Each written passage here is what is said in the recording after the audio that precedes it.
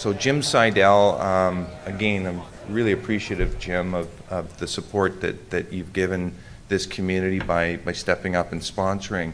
Uh, CrowdStrike is, is a uh, is an endpoint security platform an incident response company. We do threat intelligence. We do it better than any other organization in the world. We're one of the fastest, if not the fastest, growing cybersecurity companies on the planet. So we're disrupting, and we're going to talk uh, today about some, uh, you know, some of the things that we're doing and, and some of the thought leadership that we're bringing to the market.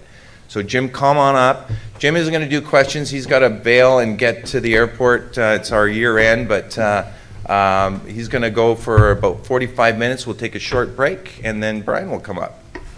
Over to you, Jim. Thank you. Thank you, Justin.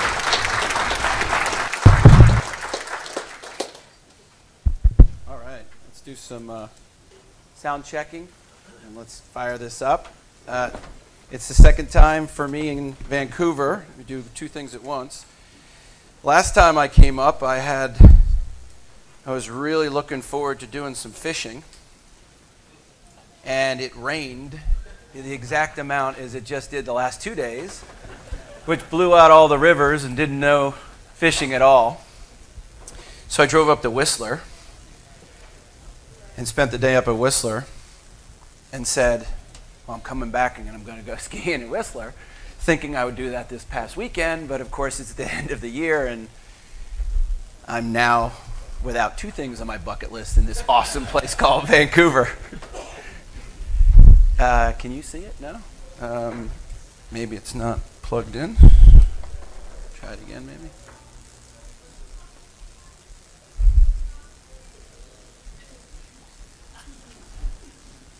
You knew this was going to happen, a little technical difficulties, right? Let me plug this in again. That could be the reason. Ah, there we go. Okay. Eight plus years ago, a colleague of mine, while investigating a campaign he would later name Shady Rat, he came to a conclusion. And this conclusion has been often repeated by many prominent individuals across the world. And this conclusion was that there were two types of organizations those that have been compromised and know it, and those that do not yet know. And when I was thinking about today and this presentation, it brought me back to this seminal moment eight or so years ago. And the journey that we began the journey that allowed us to change our way of thinking, that was rooted in harden the perimeter and keep the adversary out. And man, has it been an eight or so years. Sometimes thinking they're dog years. But recently, while my colleague was collaborating with a couple authors on a book, he was asked, Do you still believe that there are only two types of companies? And he amended his conclusion with, Nope, I no longer believe. Not because the threat landscape has gotten any easier.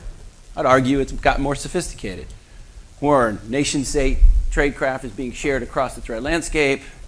criminal groups and hacktivists now use all the same tradecraft, making our lives a lot harder. I also believe in this revision because I've seen organizations organizations that have been able to shift to be able to understand they can't keep the adversary out, but they can keep the adversary from meeting their objectives. Organizations that are constantly being attacked by e criminal groups, by nation state adversaries.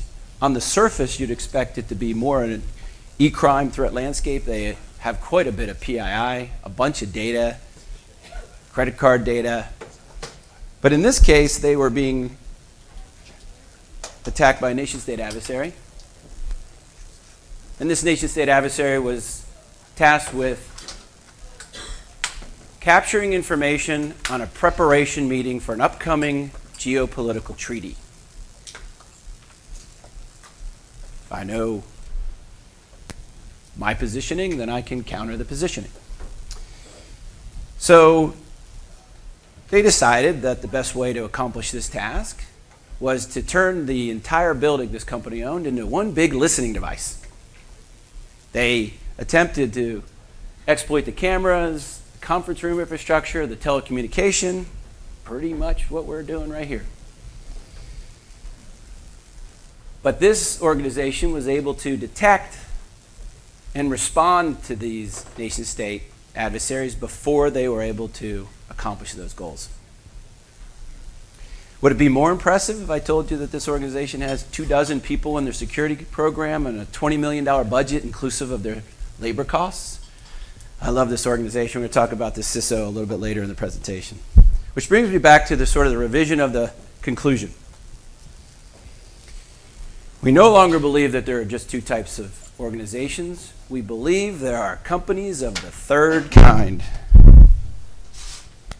Organizations that are resilient enough to understand they can't keep the adversary out, but they can keep them from meeting their objectives. Now, we all know there's a multitude of things we need to do to run a successful cybersecurity program. You live it every day. But one thing through our analysis is bubbled up to the top. One thing that we think is eclipsing all other things. And that something is speed. Speed is everything. Through this analysis, we've been able to understand the adversary techniques when they capture a beachhead and what they do on that beachhead. We call this breakout time. Breakout time is measured by understanding that adversaries, once they land, have to do specific steps before they can pivot. They have to download secondary and tertiary tradecraft, escalate privileges, harvest credentials, become persistent, do reconnaissance, and then maybe move laterally. This is the measurement, the time on that box, that's breakout time.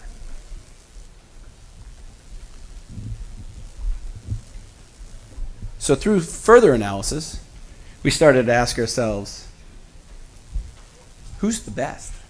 Who's the fastest? Since we see about 30,000 hands on keyboard incidents a year, we're able to sort of understand this and measure it.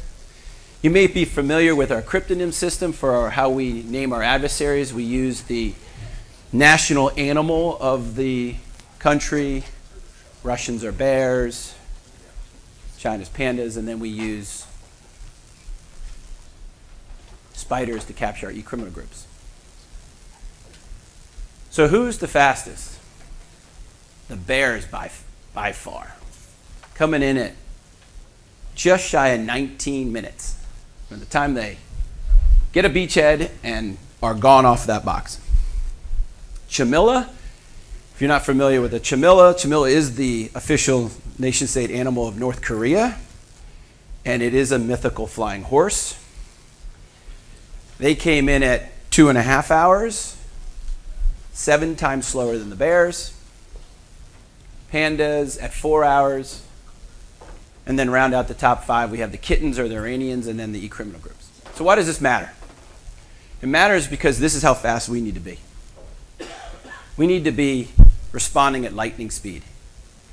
If we had an incident at midnight, would we miss all but the spiders before we showed up at work at 8 a.m.? So uh, Katie opened up the conference with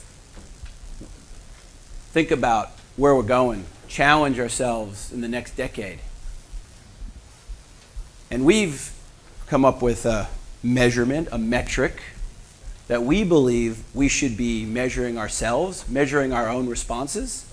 We believe this metric should be adopted by all companies and government agencies. Of course we do, it's our metric.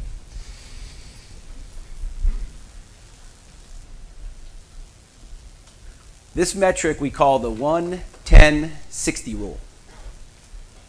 We need to challenge ourselves to be able to detect within one minute, triage and formulate a plan in 10 minutes, and contain the adversary in 60 minutes.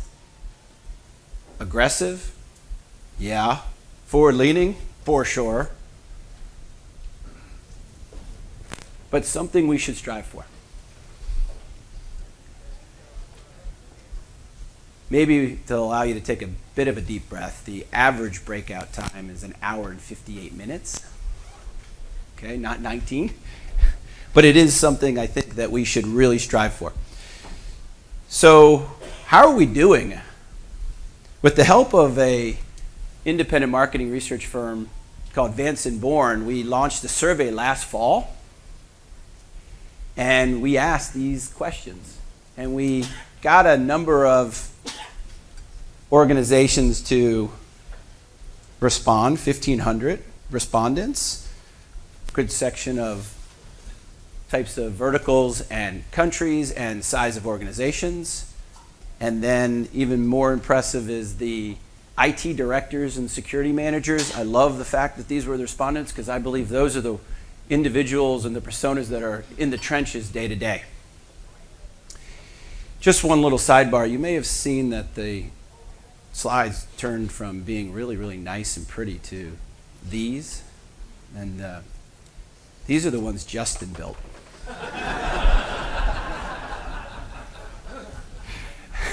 Actually, no, I, I built them. I just did not have the time to pretty them up. I had to make a joke. Okay, so oh, when we asked the question, how are we doing, those 1,500 respondents, how long does it take you to detect, triage, and respond?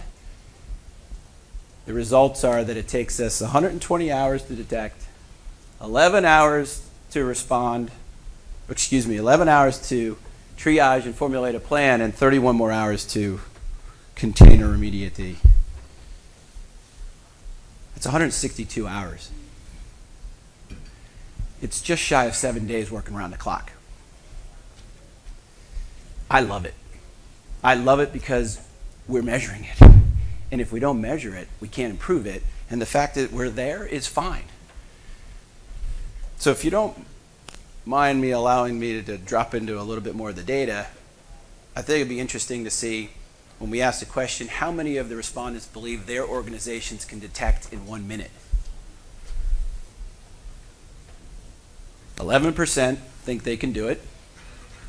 How many are able to triage in 10 minutes? 9%. How many can respond in that one hour? 33 minutes. This is a no blame zone, but is the 33 or the third of the organizations thinking they can contain it after the 131 hours that they took to get there? Again, it's where we are. The money question. How many organizations believe they can do all three? 5%. Do I dare say companies of the third kind? A little bit more information, digging down into each one of these quickly. I thought this was interesting. We asked the question of where's the focus of the organization? Is it more on prevention or detection strategies? And this surprised me a little bit. 40% on average, say they're more focused on prevention, 20% on detection. I've highlighted in the boxes the response from this great country called Canada. I really thought about this because I really thought that it would be a little bit closer, more detection focused. We've been on this journey. People know we can't keep the adversary out, but we kind of have to respond. And then I started thinking, sort of a counterpoint to this, and I started to remember we launched this last fall.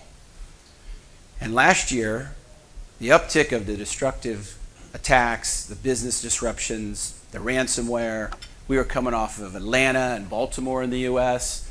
So I was wondering if this frame was back to we need to be able to stop these ransomware attacks. And that kind of rolled into this. Kind of gives me the 50 50 is what I would like to see there. And it doesn't get easier any day, does it? A couple more pieces of information. I wanted to break down the 11 hours. I thought it was interesting. Five of those 11 hours is just us waiting to get to the detection. And then once we get there, we spend six more hours triaging and formulating a plan. Another question I thought was interesting is how often are you able to understand who's attacking you? And if we understand who's attacking you, then we can make better decisions, faster decisions. We can formulate those plans knowing what their motives are.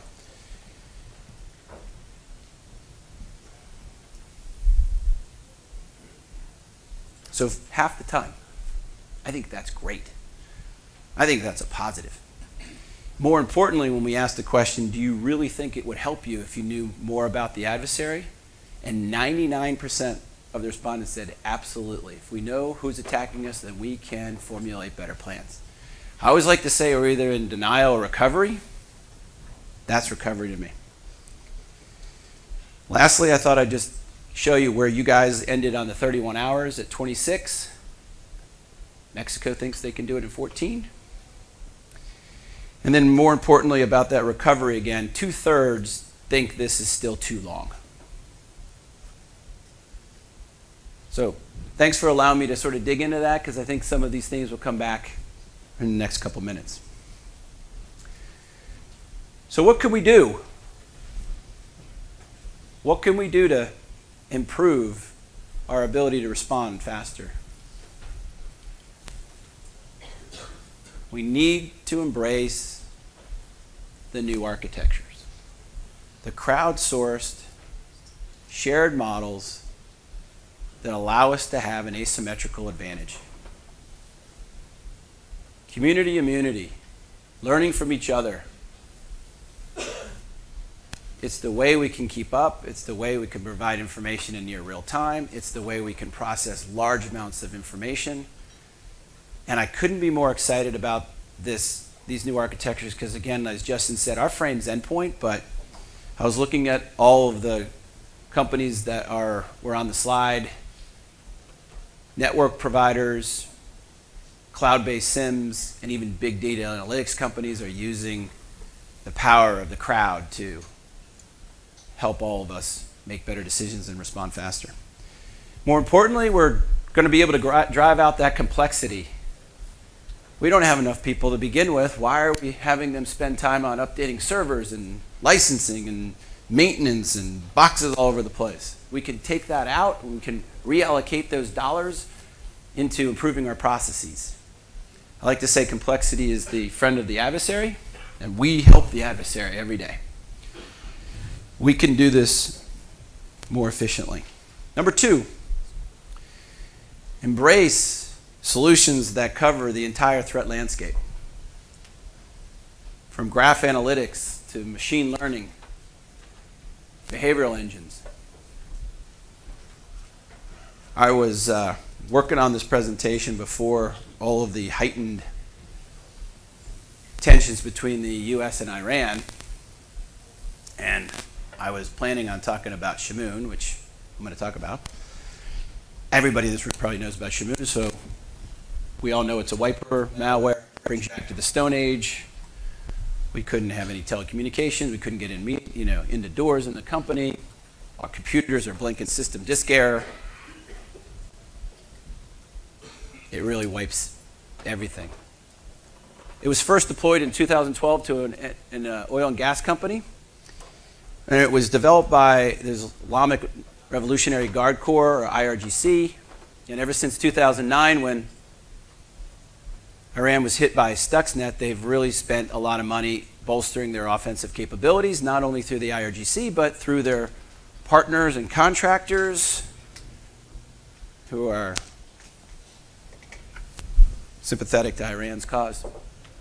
What you may not know is that many variants of Shamoon have been used since then. One of them, not too long ago, and it did what it was supposed to. It knocked out an entire healthcare organization. They weren't able to access patient records. They couldn't dispense medicine and drugs. Lives were at risk. And I said it knocked out the entire organization. Well, everything but about 100 boxes. 100 boxes that were running next gen machine learning, graph analytics, and behavioral engines were able to convict the, va the variant before it ran. Now, I could have used ransomware, And one of the things that CrowdStrike likes to do is release reports. You probably have heard of our threat report. It's an annual report. But we also do an annual report about uh, from our services organization. And that report just launched last week, so please feel free to download it. And that report says there's still 51% of the attacks are using non-malware based attacks, which is certainly why we need to have both machine learning and behavioral based engines. But also says that 22% of the time adversaries are using both. And so ransomwares continue to evolve and into something we call big game hunting. In this case, the adversary is using both tactics. They'll use malware to establish the beachhead, then they'll drop to non-malware based living off the land techniques. They'll start to crawl around, be low and slow. They'll map your organization, they'll find out all your critical assets, and then they'll use an implant to encrypt them hoping that the destruction is so big that you'd be willing to pay a much larger ransom. A couple other thoughts on this. Again, endpoint frame, but the stack is actually using these types of new detection engines across network and SIEMs and big data analytics, and it really, really is improving the efficacy of what we're able to provide. The last thing I want to talk about is the services report highlights through their proactive services and incident response that they did last year that none of this matters unless we're willing to turn the knobs. Meaning, we have to turn solutions up enough to be able to get the prevention and detection. I talked about that CISO from the organization from the first story, and he's an amazing individual, and he's communicated to his management that they're going to turn the knobs to 11. And that, yes, they may have a couple hours of business down time, but it's better than the alternative. Now, I know that doesn't work for everybody. I was talking to an individual, Tim, I think, last night, and we were talking about his utility company and you know if i'm generating power i'm going to have a risk-based approach. But my point is make sure that we're actually leveraging this because otherwise we're just adding to the complexity. We have a new layer but we're not actually leveraging it. We're not actually using it to its and then leverage the manufacturers because we'll be able to help you what makes sense on what workloads. Laptops go to 11 Critical infrastructure goes to four. Just making this up. Hunt. Hunt for the 1%. Machine assisted human analysis. Think of this as the human detection engine. Create lots of noise. Telemetry. Be wrong way more than you're right staff our hunt teams with cross disciplinary individuals from IT, the business, security, and intelligence, and then give them the opportunity to find an, artita- an artifact and pull that thread, see what's on the other side. This is the only way we're not going to miss anything. This is how we can find the really hard to finds and our managed hunt service is called Overwatch. And just like in CrowdStrike, we like to produce reports, and they, re- they produce a quarterly report.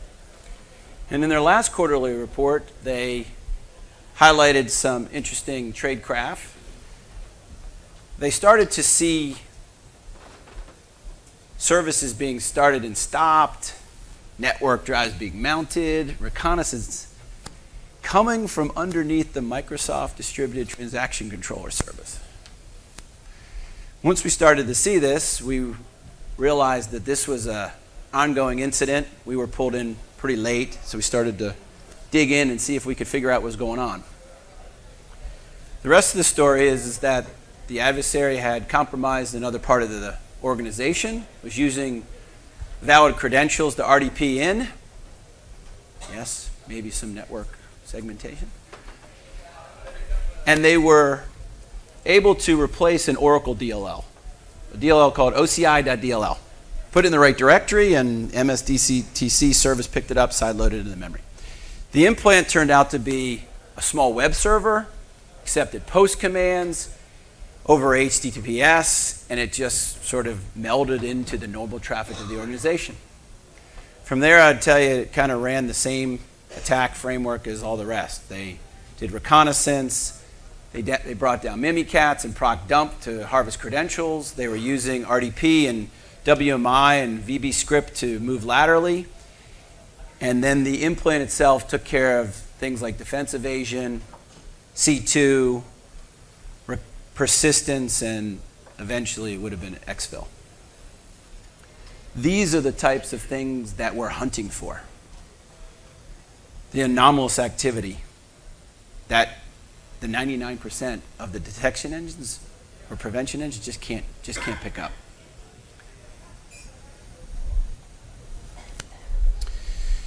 Know your adversary. We saw this in the results. We understand it inherently. Let's knock on wood. We go home tonight, the back door is slammed open. We call the authorities.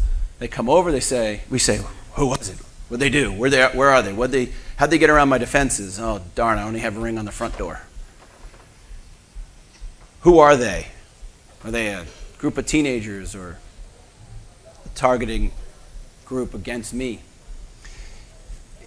Cyber adversaries, same way. We need to get into their motivations so that we can shift our defenses to preempt future attacks. We need to get into their decision making process. If we know that they're targeting certain vulnerabilities, then we can prioritize our patch processes to cover off on those vulnerabilities. And lastly, the adversary TTPs help us with this hunt program and in our incident response program. Sidebar that uh, colleague of mine, Josh, is going to have a entire session on intelligence and the adversaries today at 345. Fits your schedule. I'm sure he would love to see you, and he'll have a lot of cool stuff around adversaries and their tradecraft. Build a plan. Build it from the top to the bottom. Okay, Jim, that's easy. Plans across. Let's make it a little bit more difficult. Test the plans. Test them to when we get muscle memory. This is where the hard part is. I have a plan, I build it, I spend all this energy, and I put it right here. This is where it becomes hard because we know we don't have enough resources, we don't know I have enough time, but this is how we get better. This is how we understand how to respond faster. I'll also bring back the knobs. Maybe this is where we spend time turning the knobs to 11 through our red teaming and our blue teaming to make sure that we can have a better idea of the risk if we turned our solutions up a notch. Automate, automate everything. Automation helps us with this lack of resources. Automation fits nicely into our mission of speed. It's like chocolate and peanut butter to me.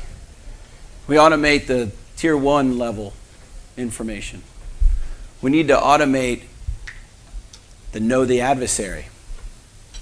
We can no longer have our resources ripping apart malware in a manual process.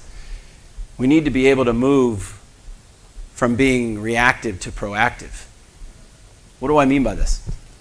We should be able to grab a file we convict, be able to say we can quarantine a file. We should be able to grab that file, run it up in an automated sandbox, rip it apart, get those IOCs, run those IOCs up against a crowdsourced data set that says, here are all the variants, grab those variants, rip that apart, get those IOCs, run that up against an intelligence database and say, who is it?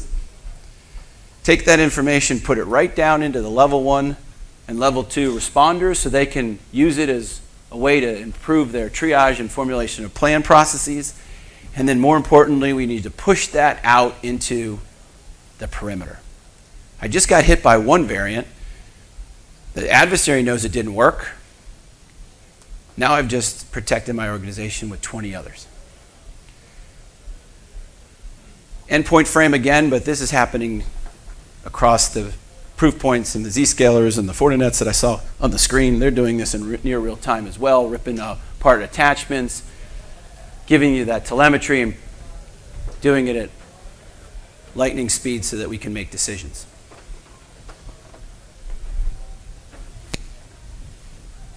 Extend the organization.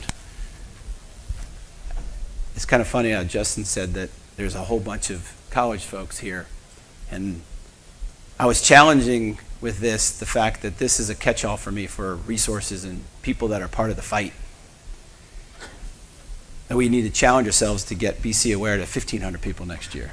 That we need to continue to make it a priority to mentor our youth so that we can get more of these individuals passionate about the mission, slowing down bad guys. Keep on being mentors I was talking to someone last night and we were laughing because we're so old that cybersecurity curriculums in colleges were called computer science. But we need to continue to motivate the young, get them excited. This may be low on my priority list, but it is not. It is a high priority. And we can't do this without more people into the fight. We like to say it's one team, one fight.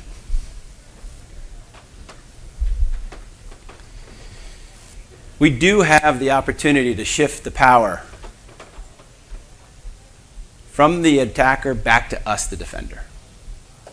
I truly believe this. Organizations that have adopted this new paradigm of security,